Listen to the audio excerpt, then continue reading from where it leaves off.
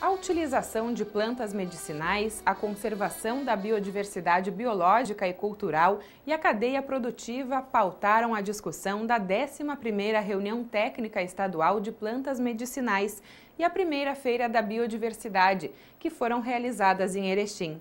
Também esteve em debate a inclusão das plantas medicinais no Sistema Único de Saúde. Confira. Os temas foram debatidos em mesas redondas, palestras, oficinas, minicursos, troca de experiências. Um dos temas discutidos foi inovação e bioprospecção de fitomedicamentos a partir da biodiversidade brasileira, com a participação do médico Glauco de Cruze Vilas Boas, da Fiocruz do Rio de Janeiro. A mensagem dessa, dessa contida nessa palestra de hoje é mais no sentido de estimular é, a elaboração de projetos estruturantes para a inovação em medicamentos da biodiversidade. Esses projetos eles têm que ser participativos com os, com os diversos agentes locais do conhecimento em cada bioma brasileiro, ou seja, as universidades, os institutos de ciência e tecnologia, é, o governo, os agricultores, as ONGs e todo mundo que trabalha nesse segmento.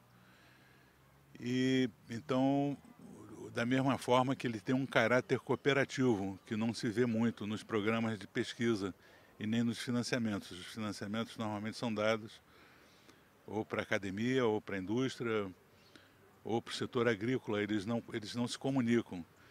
Então a gente vem trazendo uma nova visão de como fazer o desenvolvimento tecnológico a partir da biodiversidade, considerando não só os fitoterápicos, mas também as moléculas, as substâncias é, que poderiam dar origem a outros medicamentos.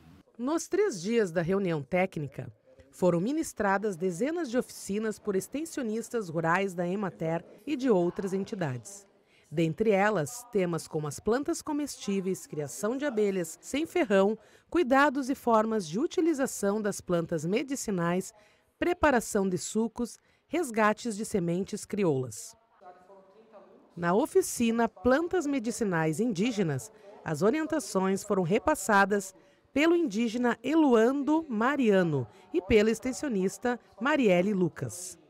Durante a programação, também foram distribuídas mais de 3 mil mudas e mais de 5 mil pacotinhos de sementes produzidas por agricultores dos 32 municípios da região do Alto Uruguai. Também foram prestadas orientações por extensionistas rurais da Emater e distribuição de material didático nos espaços da Emater RS Ascar. Também houve exposição e comercialização de plantas medicinais. Os produtores Geraldino Vinitsky e Rodrigo Estrapasson estão entre os que expuseram e comercializaram seus produtos. É, já faz 17 anos que a gente está produzindo e vendendo na, nas, nas feiras, nos mercados. E hoje temos aqui também, né? Quais são os principais produtos que o senhor está comercializando hoje aqui? Tem é, camomila, marcela, hibisco, poejo, manjerona, erva luísa. Tem uns 30 tipos. Né? Dá para tirar um, um, troco? Ah, dá. A gente hoje está bem melhor de viver porque é uma coisa bem, bem leviana. A gente não, não se judeia muito para produzir, né? Enquanto o seu Geraldino tem muitos anos de experiência no cultivo de plantas, o jovem Rodrigo está iniciando na atividade. Eu estou comercializando uh, mais temperos, que a gente está iniciando na produção de, das plantas bioativas e a gente está gostando muito da feira, que está vendendo bem e o povo está gostando das nossas mudas. Por que, que tu optou pra, pelo plantio das plantas medicinais? Na verdade, a gente trabalha com hidroponia e a gente, para ter uma renda a mais na família, como a nossa, o trabalho é totalmente familiar, a gente tentou agregar mais valor à propriedade, para ter para os mercados e agropecuários. Outro atrativo da feira foi a mostra e degustação de produtos produzidos à base de erva mate, como sanduíches e bolos. Esse evento ele tem esse papel de fazer esse diálogo entre o saber tradicional, uh, estimulando o resgate dos saberes tradicionais e o saber acadêmico, ou seja, o saber científico. E é a partir desse diálogo é que nós podemos estar encontrando alternativas para o uso cada vez mais sustentável das plantas bioativas, entre elas das plantas medicinais, pelas nossas sociedades humanas. A Emater RSSCAR foi a fomentadora da reunião técnica das plantas bioativas, como a instituição vem trabalhando nesta área. A Emater tem um, uma gama de ações uh, bastante ampla uh, nessa área de plantas uh, bioativas, aromáticas e medicinais. Entre elas a produção para autoconsumo,